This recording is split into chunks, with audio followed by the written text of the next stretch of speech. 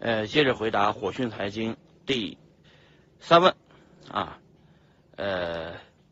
这个韭菜庄园有什么规划？其实也没啥规划。这个地方呢，就是我的家啊，我呢就在在在这里呃住着啊，在这里呃把孩子们养大，因为我们这个家那个门口就是学校，孩子们走路就可以上，呃，就是这边的学校的学分还挺高的，九分以上。所以说学校是好学校，这个学区也是好的学区。呃，那我在这里想法很简单，啊，跟我老婆洋洋，还孩子大呃大大女儿果果，二女儿朵朵，三女儿花花，哎，呃来了美国了，呃那个也这个刚开始来无依无靠的，所以呢有点寂寞啊，所以跟大家说我住在哪里，大家有空来找我玩儿。呃，没想到国内来这么多朋友。啊，这个很是欣慰啊，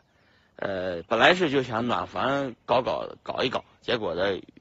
呃，越暖越越暖暖，越来越暖啊。呃，后来发现，其实我跟我们我们家全我们家全家呢，就住在呃这边的这个这两个房子。你看我的手势指一下，这是我的卧室啊，呃，这是我孩子的卧室。我们只住这两间就够了，呃，其他的房间我们都用不着。还有还有十几个十几个房间，能住二十十来十来个人，接近二十个人。呃，这房子有点多，住不就是这个太空了。所以说，兄弟们如果来美国来的，就是找我来，呃，带上老婆孩子，是吧？带上老婆孩子度个假。你们今年暑假的时候，你们可以呃来带老婆孩子来度假来啊。其实美国做 ICU 的挺多的，在这美国建了。都至少这个，呃，听说的要，呃，做 ICU 的有五百个，我自己也建了一百个了，啊，呃，项目挺多，所以说这个很多项目方呢，又听说我这边昨天来了一群老外啊，老外呢就是听说这边很热闹，都是币圈的人，都是中国的这个资本啊，都是中国的一个这个币圈的这个呃。就是孟尝君吧，啊，美国也有孟尝君，这边就这边我做一个币圈孟尝君，给大家煮碗面吃。啊，呃，没事聚一聚，聊一聊，这个这个这个这个聊聊这个币圈的事儿，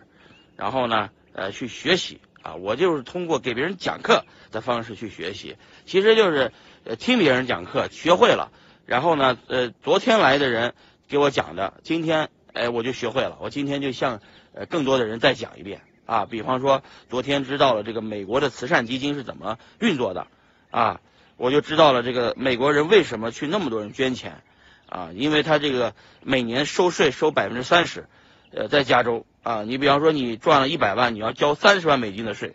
你交三十万美金的税，这个，这个这个很很恐怖是吧？很多人就我就那我就宁肯去慈善基金，我自己去捐十五万啊。我捐了十五万美金的税以后呢，那个呃，这个这个我的公司也跟着我一起捐十五万，我们一起捐三十万美金，捐给一个慈善基金，啊，这样的话我的我就不用交交税了，我的交税的部分就等于是我自己可以把我交的税金部分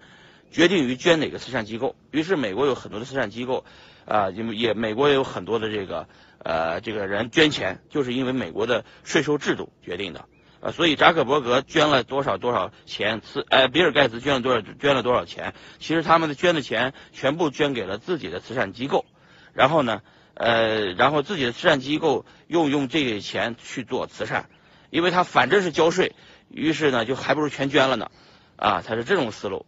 呃，这个来了美国以后才认识到，所以我们也要在美国用美国合法的合规的方式去搞慈善。啊，币圈这么多人都想做慈善。那就把大家的钱捐到此一个合法的慈善基金里面去，然后呢，用于慈善事业啊，这就是我这个有了钱以后最想干的事情啊，就是做点好事儿，做点慈善的啊。